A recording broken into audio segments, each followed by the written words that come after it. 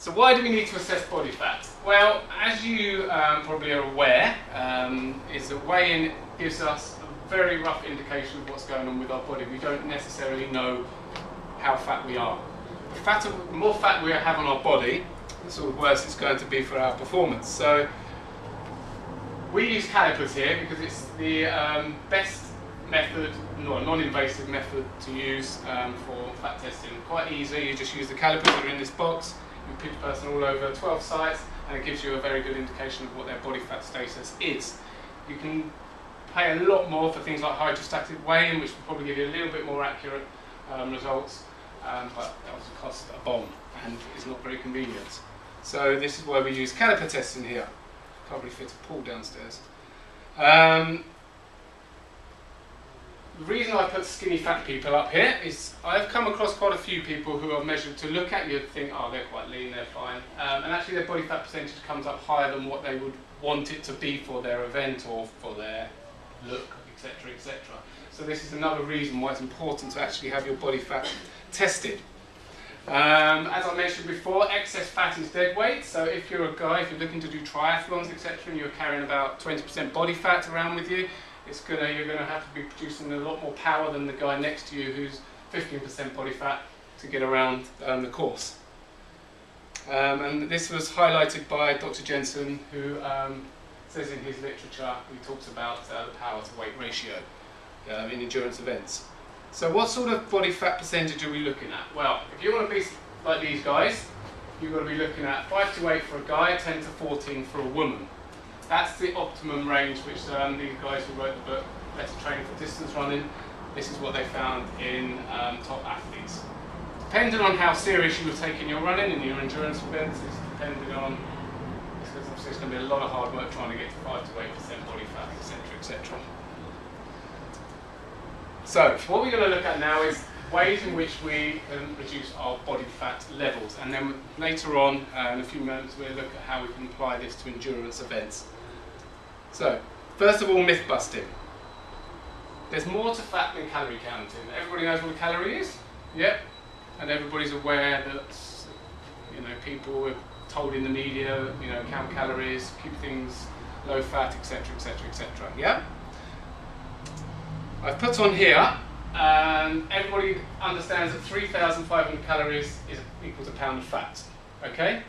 Everybody come across that? Mm -hmm. Now, this has been um, looked at by various obesity researchers. One person that comes to mind is Zoe Harcombe, who I'll put up in a minute. And she's got a really good website. She's come from Cambridge. She's just researched, she's researched about 10, 15 years about obesity, etc., um, etc. Et and she has been to various conferences run by uh, governmental organisations, obesity organisations, and asked them where they come up with this figure that they keep telling everybody there's 3,500 calories in a pound of fat, therefore we need to um, look at that when we look at using fat. And what they've told her, not one of seven government and obesity organisations can provide evidence for even part of this formula. So when she's actually asked them, no one's there like, so why are they telling people to eat 3,500 or to reduce um, your calories by 3,500 calories? So it's a bit misleading and there's not a lot of uh, scientific backup. And when she's gone back and it's on our website. I'm not going to go through it here because we haven't got time. We'll be here about another 10 or 15 minutes. She's gone back through a formula and she's found that it's probably that a pound of fat could equal, depending on the research you look at, anywhere.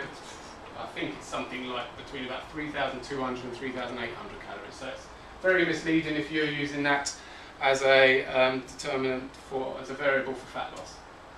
And also to look as blankly as what goes in comes out is pretty one-dimensional.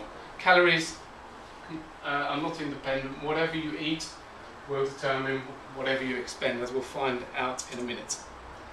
So looking at the research behind calories, we've got the Women's Health Institute. Now I have to just look at my notes because I can't remember the exact figures. So they took 20,000 women, and these women were told to eat a low-fat, low, uh, low-fat diet and a high-fiber diet to try and help fat loss. So over eight years, these guys were given regular counselling, they were given, they were filling out food diaries, etc., etc. And the researchers found that on average, the women ate 360 calories less a day.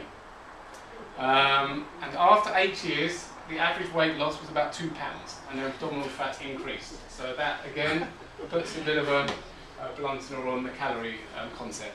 Although the research did say maybe that you know the uh, their assessing food intake wasn't maybe that could be it because you know when people fill out food diaries they don't necessarily fill um, fill it out truthfully, um, but um, that's something to take into consideration. There's another really good study, the Minnesota experiment, um, and you've probably heard of you starve yourself and then when you go to eat again, you'll put on more body fat. And this, um, this, this study highlighted the fact. So you put people on a 1600 calorie diet, um, which and they lost about 20 to 26% of their weight. Um, then after uh, the 24 weeks they were on this diet, they were told they could eat whatever they want. They had a complete binge. Things settled down after a few weeks, and when they re-weighed them and re-measured them, they were 75% higher than what they were at the beginning. So again, that, that, puts into that puts in perspective this idea of cutting down calories to help fat loss. It's not the best method. And Briffa's got that is highlighted in his book, Get the Diet Trap, another few studies which show, which highlight this. So what is fat loss all about? And it's important to understand this if you guys want to um, use fat loss to improve your performance.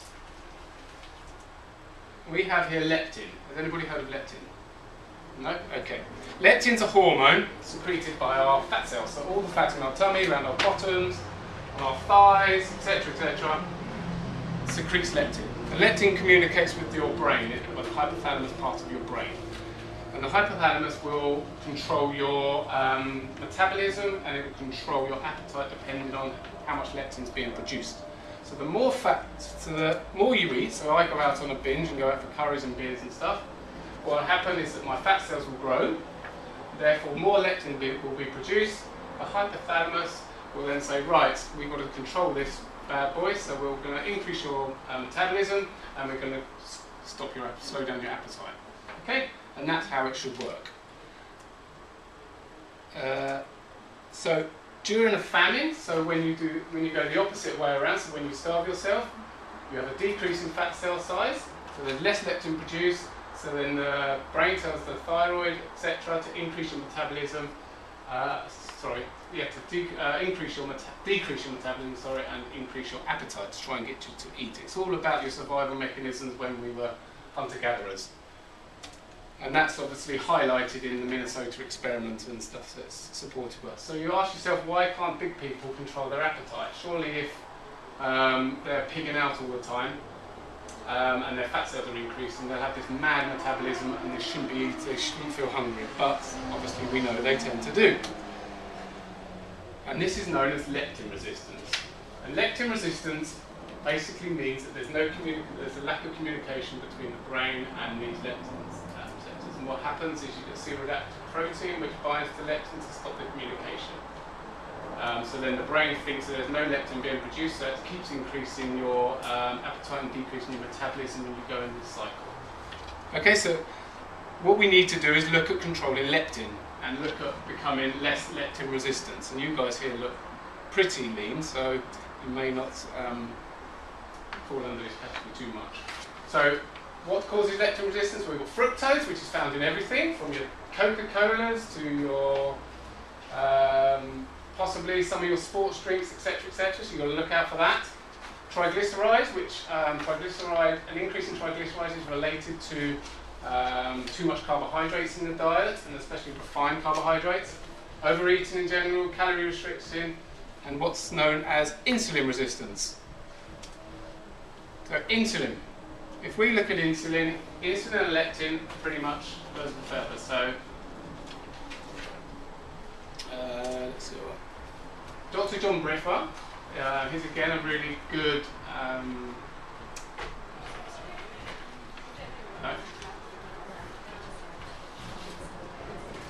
Hello. Okay, so Dr. John Briffa, the obesity researcher, he states that insulin plays a key role in the deposition of fat in the body and will basically make you um, make you fatter. So we've got to look at insulin, and the main food that um, produces insulin secretion is carbohydrate, and especially refined carbohydrates. So, how insulin is secreted by the pancreas? We have a quick look. The pancreas will secrete glucagon and insulin to regulate blood sugar. So when we have a pasta meal, or when we have a um, rice meal, or something like that, and obviously endurance runners, do need your carbohydrates The pancreas will secrete glucagon if your blood sugar is too low, and it will secrete insulin if your blood sugar is too high, and it tries to keep blood sugar within a certain range. That's the idea of, uh, um, that's part of the job for the pancreas. Insulin is secreted in two phases. When you see your lovely pasta carbonara, that's when it first starts uh, secreting, and when you start to eat it, that's the second part. Um, what insulin does, so insulin's job is to regulate your blood sugar. When you've got too much blood sugar, it has to deal with that blood glucose. And what it tends to do is going to communicate with your liver cells and your muscle cells, and it's going to put the um, excess blood glucose into these cells. So you'll have muscle glycogen and liver glycogen. About 60% of the meal should be stored in the liver as liver glycogen. Okay? And the rest goes into your muscles, and then if there's any extra, it goes into your fat cells for later. So, what we need to be, this needs to be working perfectly for us to stay lean. And in biosignature, there's a site which is known as the subscapular site, which is just here underneath your shoulder blade, and it is strongly related to how insulin sensitive to uh, insulin sensitive you are. So the ability of how many carbohydrates you can take on. So as a practitioner, we look at this site. According to Charles, the guy who came up with the whole concept of biosignature, if that figure is below 10 mil, that means we can start introducing carbohydrates throughout the day of the person we're dealing with, if they need to get their body fat percentage down. Okay? If the site is under 10, then uh, site is over 10, then we've got to look at carbohydrate and we've got to look at uh, when we should be eating these. And especially as you as endurance athletes uh, who need to get your body fats down, maybe if you find your body fat's too high, it might be possibly that you're taking in too many carbohydrates, and especially refined ones. So we look at insulin resistance, and that's the opposite to being insulin sensitive. So this, what, this is what happens. You keep eating carbohydrate, you keep producing uh, liver, you keep producing uh, insulin, what happens is that the muscle cells and the liver cells start to clam up. So they don't want this blood glucose. They've got too much. They're like, bugger off, we don't want you here. So then what happens needs to happen, that uh, excess blood sugar needs to go somewhere, because obviously if you go up, you'll, you'll go up and up and get hypoglycemic. Um, so this is a vicious cycle that goes goes round and round, and what have I just?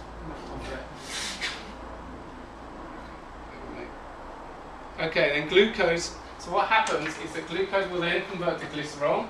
Glycerol attaches to these triglycerides that I was talking about earlier, and then triglycerides are basically stored fat. So all the fat that's around your body that you don't like that is basically triglycerides.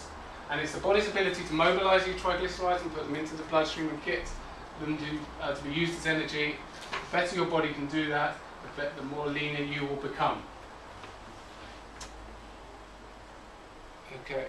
So we talked about the subscapular site. And then within the cell you've got key enzymes which are pulling these free fatty acids from the blood into the cell and so on and so forth. And insulin has been related to um, these, these enzymes. So you've got LPL. And what that does, that will pull the triglycerides from the bloodstream into the cell. Now the more insulin you produce, the more lipoprotein lipase will be pulling triglycerides into your blood um, cells. So we don't want these guys that active, if possible. And then we've got the opposite, we've got um, the antagonists, which are hormone-sensitive lipase. And what these guys do, these break down the triglycerides within the cell and then feed them back into the bloodstream. So when you've got low, um, sorry, when you've got high insulin, these guys won't be working as well. When you've got low insulin, these guys will be working hard to try and um, get rid of, get the cell, get the fat back into the bloodstream and get, the, get it working for your energy. What causes insulin surges? So, these are things you guys have to be looking for if you're interested in losing body fat for your running events. Booze. Okay? If you are going to drink, the best drink to drink is Rioja. Okay, it has less effect on your blood sugar and it contains um, anti-cortisol properties such as resveratrol. When you say real, do you mean red wine? Sorry, Do you mean all red wine? Rioja is the best one, but then you sort of work backwards. you don't want Rioja. No, I was just wondering if you were, if you were, I tell I tell my clients and people I say red wine if you can go for Rioja go for Rioja if you go for red wine and they still tend to do well. Obviously without pointing the obvious out, the more booze you drink, the um, worse it's going to be for you. But stay clear of things such as lagers, spirits, ciders, white wine, champagne, sorry, um, it will do you the world of good if you want to try and get that body fat down. Polyunsaturated fats. There's been a massive rise in the past 30, 40 years of polyunsaturated fats. Does, does anyone here eat margarine? No? Yes? Okay, ditch the margarine and put butter in your fridge or leave it on the counter. Or that spread. Polyunsaturated fats has been told, to, uh, uh, we've been informed by the press that this is the best thing and the healthiest thing to eat. However, there's a very strong link between polyunsaturated fat vegetable oils, so on and so forth, and things such as heart disease, etc., etc., etc. So polyunsaturated fats, they also have a strong link to insulin surges. So get the butter out of your um, diet, get the cakes out of your diet. Anything where they heat these vegetable oils to high heat, they become rancid. They create free radicals in the body, um, which are highly inflammatory um, atoms, which will cause all sorts of issues with your insides. Okay, so which we don't want. We don't want happening. Caffeine.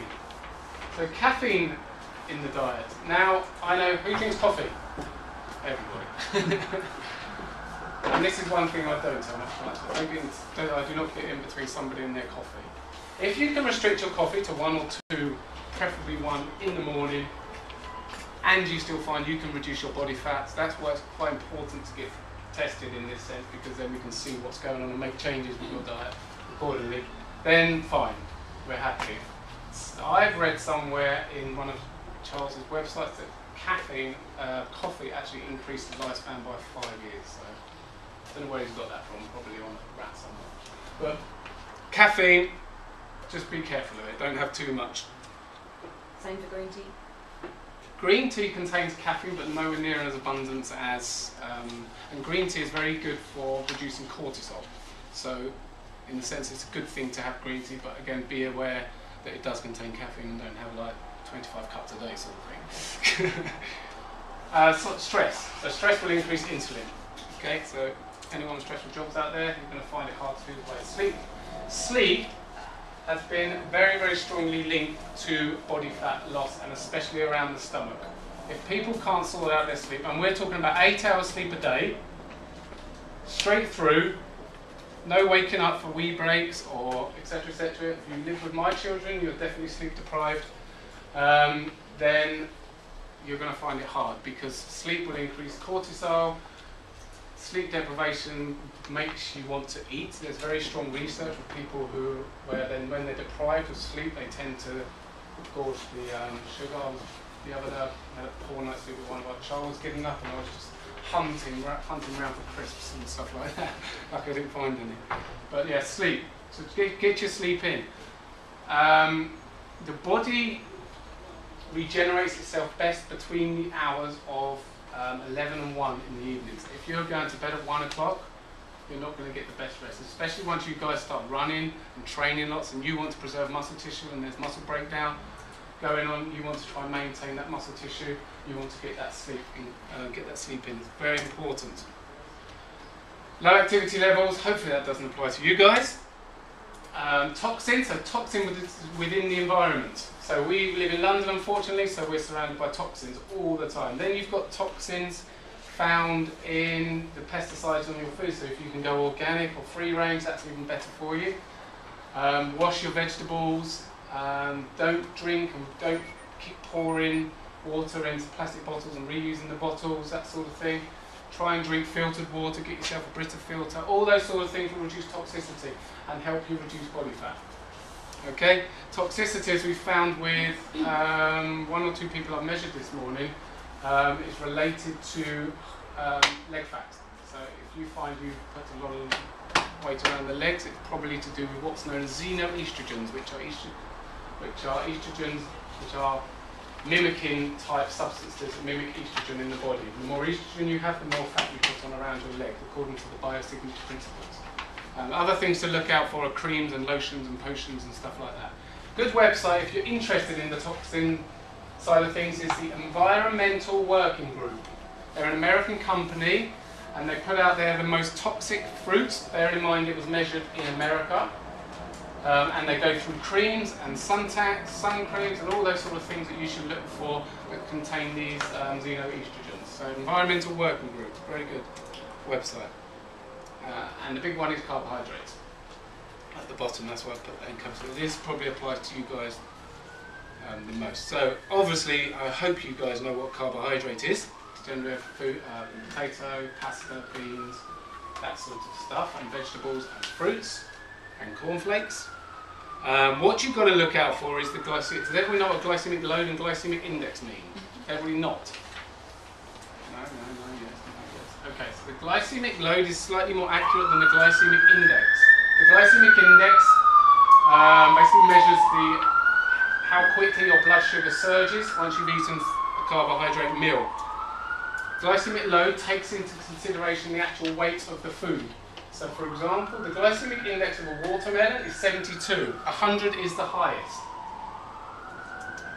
Um, there's, there's 5 grams of carbohydrate in watermelon, and obviously lots and lots of water.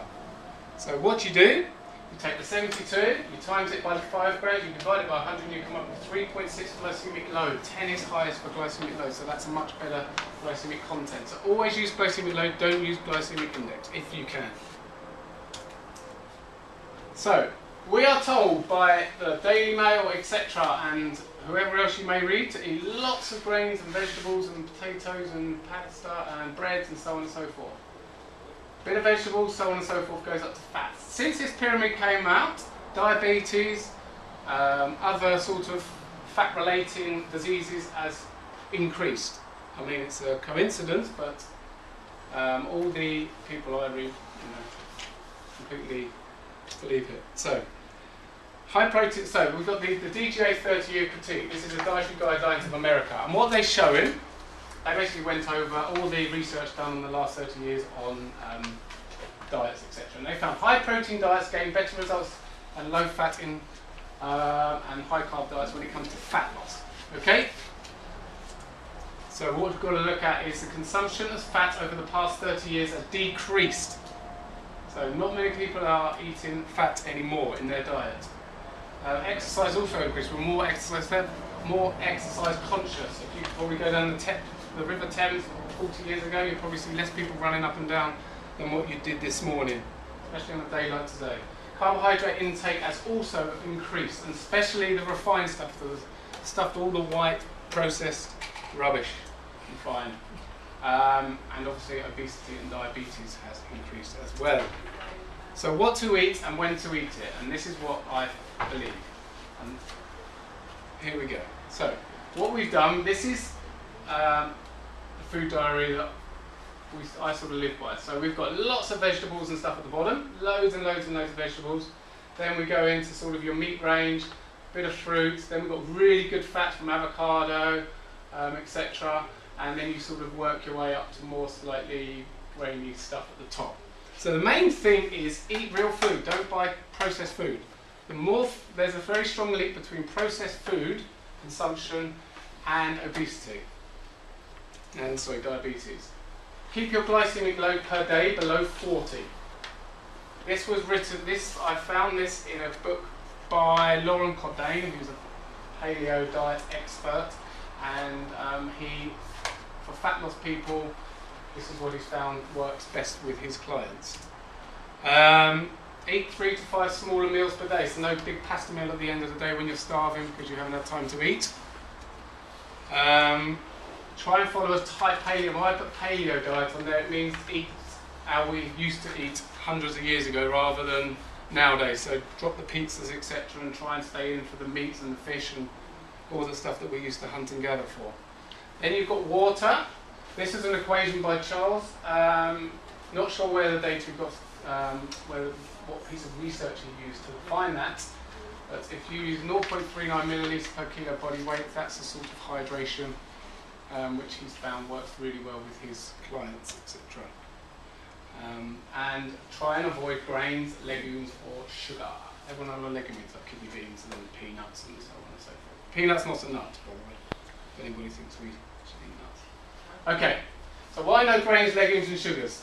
Grains and legumes contain things called phytates. Phytates bind to magnesium, calcium, etc., etc., and stop the absorption in the body. It's not a very good thing. They're also quite appalling if you compare a uh, uh, legume with like another carbohydrate like a broccoli or a green bean or carrots or something like that. The nutrient comparison is obviously way, way better in the vegetable without the anti-nutrient, anti-nutrient thing going on. Sugars are related to insulin and leptin resistance, that's pretty obvious. There's a strong association between grain consumption um, and people with gut issues. So if you find you get one good test to do is obviously eat something grainy and eat a lot of it and see if you get bloating and stuff like that and that will probably tell you that um, you're, you don't cope too well with um, grains. You can obviously get tested by nutritionists and we're going to be doing some testing here later this year. Um, and a guy called Dr. Alexander said one in 33 people in the US has celiac disease, which is an autoimmune disease. So, the high protein diets tend to win hands down, and this is the research I've gathered together, cherry picked for you. Uh, Dr. Reaven's research at Stanford University found that people put on a high protein diet, they improved their insulin sensitivity. So, you guys, obviously, be a good thing. A recent study published in the New England Journal for Medicine found that out of 938 adipose subjects that ate the high protein diet, low GI diet did the best. Um, and a guy called Wycherley, or Wycherley, um, found that high protein and resistance exercise, and this is quite important, okay, especially with you guys, is better than conventional diet. Just go a little bit into the exercise thing. When I get clients who are not runners, and this obviously doesn't mean you guys, we put them, we tell them no cardio. If you're going to do cardio, you do high intensity cardio. Long intensive, long endurance cardiovascular exercise increases cortisol, which breaks down muscle tissue and um, increases insulin resistance, so on and so forth. So we don't want to do too much of that as somebody who wants to get somebody to lean up. We get them to do resistance weights, we get them to do sprints, um, and we put them on a, a, higher protein, eat real food diet. And one guy in five weeks just lost, bearing in mind he was very good, um, six kilos of fat in five weeks. So he's done really well. He's dropped like about from 23% to 16% body fat. So there's just an example, but bear in mind people are different when it comes to fat loss. We're not saying that everybody will get the same result. Um, research continued. When you say sprints, I thought that raised cortisol, the intervals, as opposed to. Not as much as endurance events. Everything will raise cortisol, like weight training will raise cortisol, Yeah. but um, the endurance, Endurance is, is highest, is okay. yeah, highest. Dr. John Briffa compared 13 relevant studies. So in his book, he looks at 13 studies that he's found um, since the year 2000 which compared these diets and um, these two diets. And out of them, the low carb diet had a much better fat loss. And the average weight loss in the low carb was 7.6 kilos compared to 4.7. So there's quite a big difference when it comes to um, body fat loss. So why? This is just some research about why we should, why I why I'm trying to convince you guys that trying to give you information about why we should be eating real food in like a caveman. Study here by Dr. O'Dea. and I'm just going to read sort of see it from here.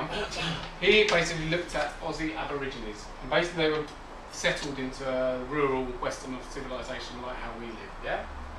What he done, he took these guys back out of civilization because they all developed, they all became overweight and they developed type 2 diabetes.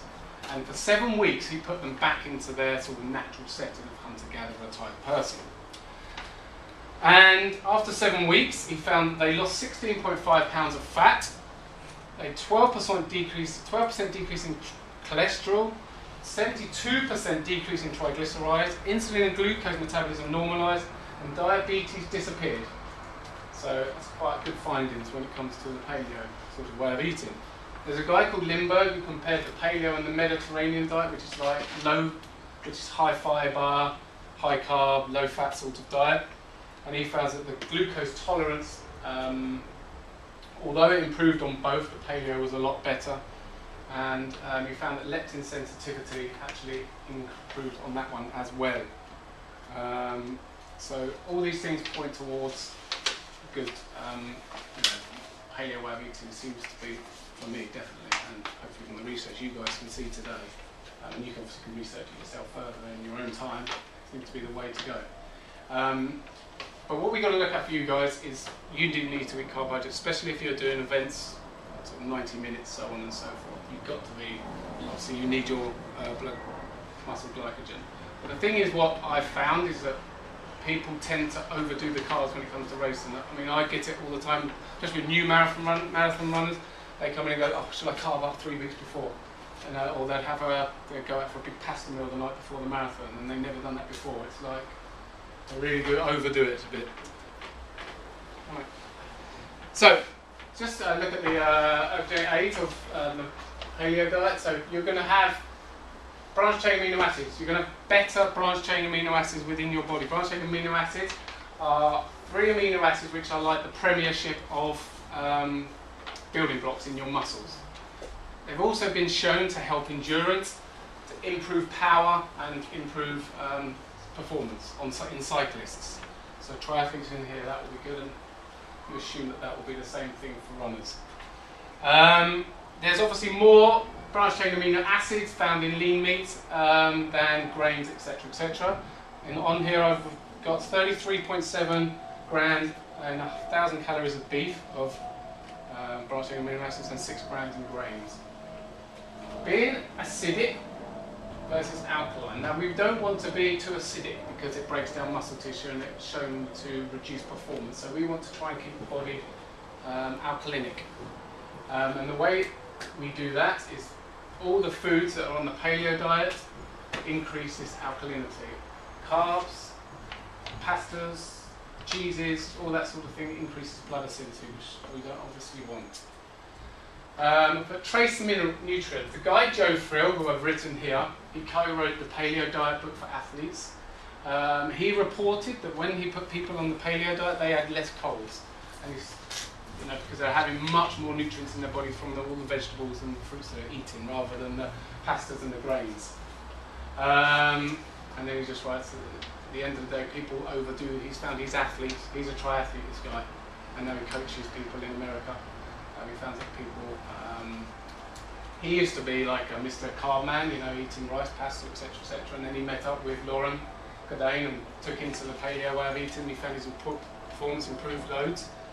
Um, and so he now trains his athletes to eat the paleo way and he's found that their performance increases loads. So give it a go and see how you guys do. He's found that uh, when they come to him for their assessments and stuff like that, that they just eat way too much carbohydrates, that they're carrying a bit of fat, etc. So, fuel for you guys. And this is taken from the paleo, this isn't my work, I must admit, this is taken from the, uh, the research I've read, especially in the Paleo Diet for Athletes book, which is written by Loren Cordain and that Joe Friel guy. Um, you've got to try and, when you wake up to do your racing, you've got to try and fuel yourself. Definitely um, drink, obviously you've had a good hydration lecture with the guys earlier on, um, but they use this sort of equation, two to 300 calories per hour prior to the race, which I think is quite a good and they obviously, that's eating proper food, it's not eating um, pastas and rices and things like that. Um, the closer you get to the race, the higher your GI is, so the more fruits and stuff you're probably taking. So if you're going for that two hours before, like your race is at 11, and you've got up at 8, and you've got to eat something, you're going to bowl of fruit or something like that, that's quite high GI. If you've got a race at 1 and then you've had breakfast at 9, make sure it's got a lot of fibre in it, more starchy carbohydrates, and then, then, it will take a bit longer to digest and get into your bloodstream. Include branched chain amino acids, definitely. Um, so eat protein with your meal. Um, and then in your recovery, got to obviously replace your carbohydrate stores. Immediately after is when you take in liquid with your um, uh, protein and carbohydrate because it obviously fuels the muscles much quicker. And the sooner we can get the muscles um, sourced with some um, nutrients, the lower this cortisol effect will occur and the better your um, recovery will be for your next race or the next training session. Um, as you go further into the day, so you I would start with a high GI drink using this formula 4 to 1 or 5 to 1, uh, including your electrolytes. If you had the electrolyte test done, even better. Um, then I would later, like two hours later, think about your lunch or your dinner or something with your sweet potatoes and your meats and your vegetables and stuff like that. Obviously, trying to avoid the wheat and the pasta. Um, and then just sort of as you go into the day and the next day you sort of go back into the paleo way of eating and if you need to lose weight I would steer clear of the starchy carbs etc etc um, does that make sense? Everybody happy? Cool okay so basically eat like that and you'll be like that any question We've got to oh, let me just check the time we are running a little over we have a couple of questions. Anybody wants to grab me after? I can answer more questions, hopefully, if I can. Anybody got any questions? Yes. What are the best ways to keep down cortisol? Because I know, if, especially if doing long distance running, any- anything over an hour, your, your cortisol levels in the body just go So through the roof. fueling straight away. Green tea's been shown. You've got other um, supplements such as licorice, supreme, Poliquin has a load of stuff, obviously. Um, that you can work with. So there's a supplement, supplements like green tea extract and things like that will really help. But to be honest, if you refuel quickly, see how you go, measure yourself, try this method. If you find the cortisol levels aren't going down, then look into the supplement side of things. Um, first deal with food, then deal with supplements. Um, is my sort of method. Um, yeah. Any other questions? When you say keep the blood alkaline, which um, yeah, I understand that, but um, the paleo diet's quite high protein, isn't that acidic forming, or is there enough There is a in there? here. No, the, the, the lean meats you use should be uh, not as acidic as we're sort of we're comparing to The carbs and the, the carbs and stuff yeah, like that. So it's not as well, yes they are, but then you've got obviously the Veg. abundance of vegetables and Yeah. fish, like you said, and that will keep it down. Yeah. So if, in comparison, it's um, it's much better to have the paleo way if you wanted to keep your blood more alkalinic. Any others? No. Okay. Thank you for joining me.